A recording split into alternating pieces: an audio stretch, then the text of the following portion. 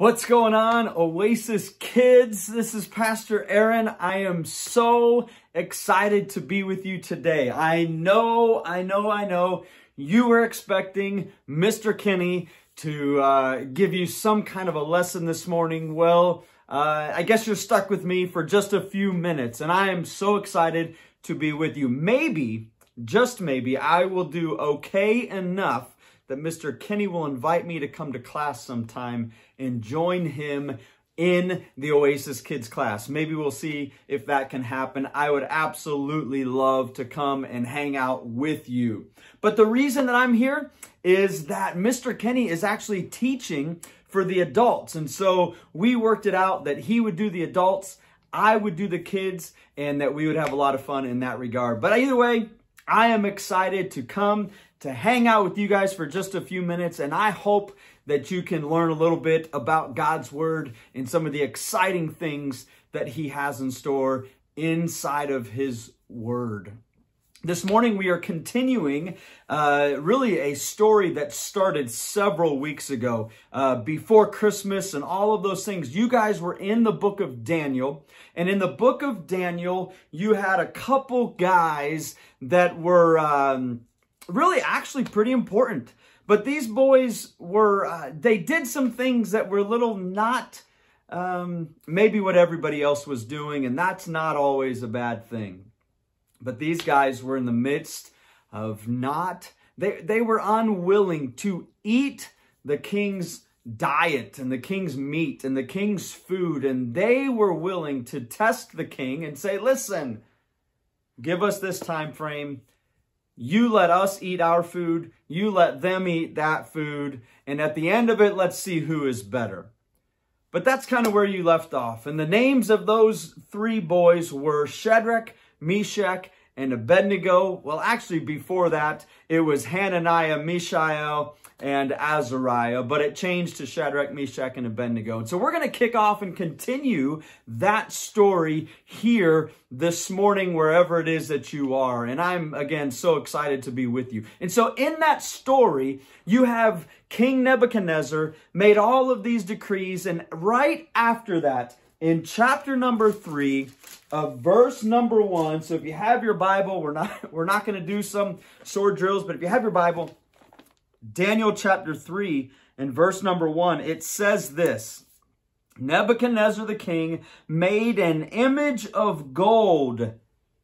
He made a huge image. He made a big statue, and it says that it was 90 feet tall. I don't know if you know how tall 90 feet is, but that's really, really tall. You figure your mom or your dad is probably anywhere from five eight to six foot, six, two or three. Uh, and you can add to that and just imagine maybe your mom or dad can help you see what 90 feet is. But he made an image 90 feet tall. For what purpose? For what purpose? It really came to be that the purpose was that everybody would worship and bow to this image. Everybody would honor this image. And in verse number six, and in verse number six it says, And whoever, whoso falleth not down and worshipeth the same, hour shall be cast in the midst of a burning fiery furnace. If you are unwilling when all the music is playing and all of the celebration happens and everything takes place, when everybody else is going to be bowing down to worship, if you are unwilling to bow down, what does it say? It says you'll be cast or you'll be thrown into a fiery furnace. I don't know about you. I like fire. I really do. I like to make fire and or build fire. How about like uh how about having some s'mores? Marshmallows over the fire, some chocolate. Fire is fire is a great thing. But you know what? As much as I might like to put a marshmallow in the fire, there is no part of me that ever wants to be in the fire. That's horrible. it would hurt, it would burn, it would, uh, it would feel miserable, but this is what was going on. And King Nebuchadnezzar built this furnace that was so hot. And he said, if anybody would not bow down and worship, that I will immediately throw you into that fire. Well, I think for you and I think for me, and I think obviously we will see in the case of Shadrach, Meshach, and Abednego that there's only one person that we're supposed to worship. We're only supposed to worship God. And that made them have a major decision to make. You know, I want to say this right where we are at this kind of point is I wonder how many of us, out of obedience, have different things in our lives, maybe what we would call boundary. If you like sports, there's a uh, on a basketball court, there's marks, there's lines that would call it out of bounds. In football, there's a there's a sideline where if you're outside of that, you touch that line, you are out of bounds. Those are boundaries. You have to stay inside of those boundaries. I wonder how many of us have boundaries so that we do the right thing and we stay and we are remaining obedient unto God. See, I think Shadrach, Meshach, and Abednego had some boundaries, and one of their boundaries was that they would only worship God. And so we see the story as the story continues. It says, hey, when uh, when all of this music is playing and, and when all of these things take place, Everybody better bow and worship this idol, worship this statue. And most of you know the story. It's a really awesome story. But these three Hebrew boys, when the music played and the worship was taking place, they would not bow to the statue. Rather, they disobeyed the king because they were honoring and being obedient to God. And there was somebody, there was people around them that did not like them. And really, that's why a lot of these things were taking place. They wanted to catch these guys. They wanted to get them in trouble. Others that were jealous of who they were. They were jealous of their positions and jealous of their titles. And they said, uh, King, King, King. Hey, King. There's these guys over there. They're not bowing down. Of course, the king does what? The king says, you need to come over here. Go get them, boys. Go get them. They need to be here. So they go and they get him. And they bring him to the king.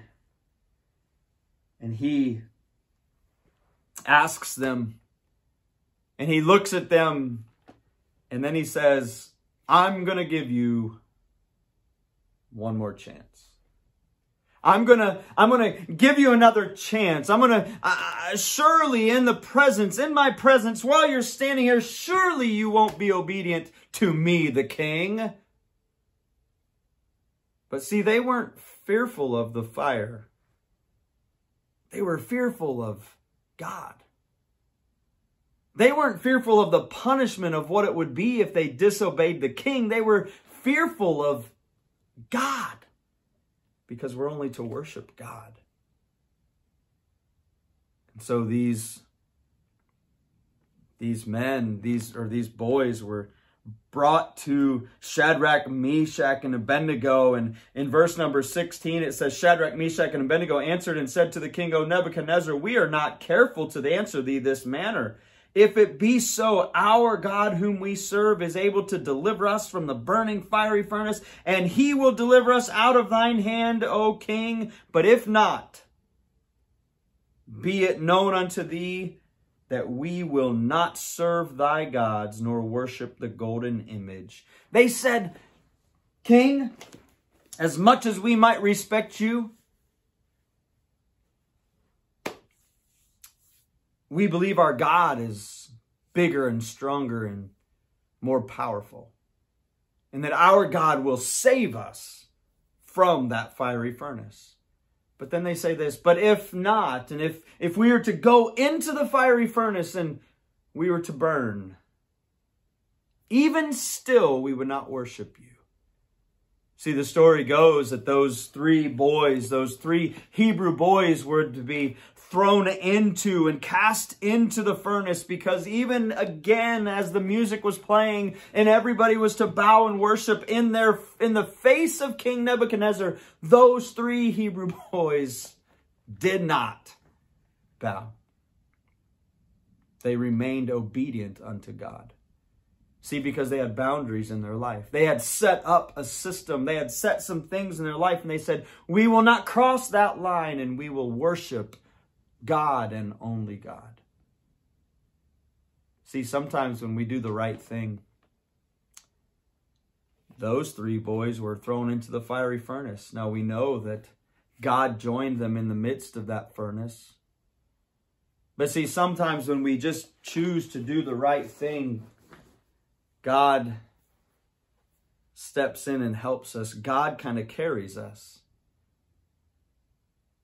I wonder if we would do the right thing. Do you know the other thing that happens when we do right is that other people are watching? And if you were to continue on in the story, and I'm not going to read every one of the verses, maybe like Mr. Kenny and your teachers would in class, but you know, one of the things that happens inside of that is King Nebuchadnezzar eventually would come to a place where he would change that law and make it to the point that they could only worship God, the Almighty God. And they did that why? They did that because three boys chose to be obedient. Three boys chose to do the right thing. Three boys chose to have boundaries in their life and honor God in everything, regardless of what might come.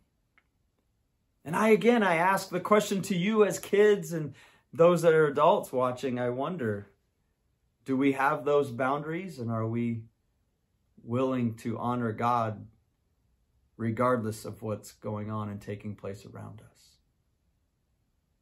So this morning, right where you are, I'm asking you, maybe, just maybe, you can look at some rules that you have at your house and think, okay, what are some boundaries that I can put in place? What are some things that I can do so that I won't cross that line so that I give my myself a better chance of being obedient to my parents and by being obedient to your parents ultimately we're being obedient to God. Maybe we could do that. See, when God saved Shadrach, Meshach, and Abednego from the furnace, he showed his power and his glory to the king. Maybe you have some friends that are watching you. And because they watch you and they watch your obedience and they watch how you live your life, they too will see God through you. So today, being obedient is not just about doing the right thing and having the rules obeyed and making sure that I make mom and dad happy.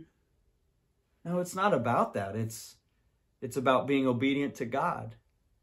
And as we are obedient to God, as you obey mom and dad, as you obey your teachers at school, as you do right, you're being obedient to God. And God is going to hold you and carry you but just as much so is that others are watching you. And so I hope that this week you will choose to be obedient. Maybe you'll choose to sit down with mom and dad and they can help you with some boundaries so that you, you too can do some of the right things and honor God. Thank you so much for being with us today. Thank you for allowing me to be your teacher for just this little bit. And I hope that you had an awesome Christmas and a great week. And we are so excited for this next week where we will see you back at church on the 10th. And we'll also have you back at Awana January 10th at 5 o'clock. Make sure you tell mom and dad that you want to be at Awana this upcoming Sunday, January 10th. I look forward to seeing you later. Have an awesome day, guys.